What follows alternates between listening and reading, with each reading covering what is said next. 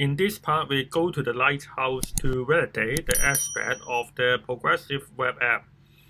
To go to the Lighthouse, we have to go to the three dots and go to More Tools, go to Developer Tools, and then we can tap on the Lighthouse, and then we just take the progressive web app, and then we click on Generate Report.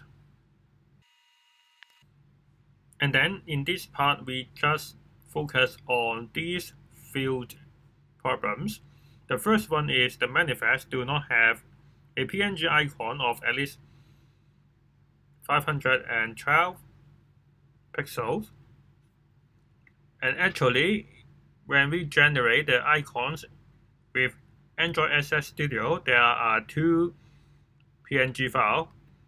One is 1000 and 24 times 1024 and the other is 512 pixels. So we can copy these two to our project.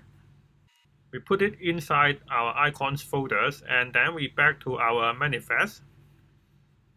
And now we duplicate these two objects. And then we know the Play Store is 512 so we change this to Play Store.png and this is 512 times 512 and this is App Store and then this is 1024 times 1024 so we fix these problems. If we clear this and then generate the report again now you can see it already turned green so we can fix the other problems is we haven't set a theme colors. So what is the theme color? The theme color actually is the color of the address bar.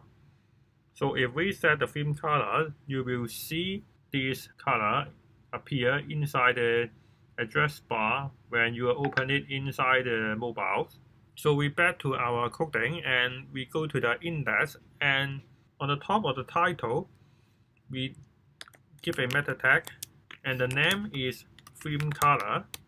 And the content is the color code. And so we can copy from the manifest because we also have the color of the background color.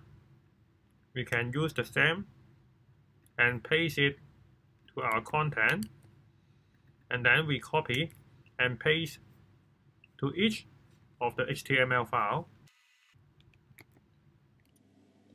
Now we can generate the report again. Now you see the set theme color also turns green.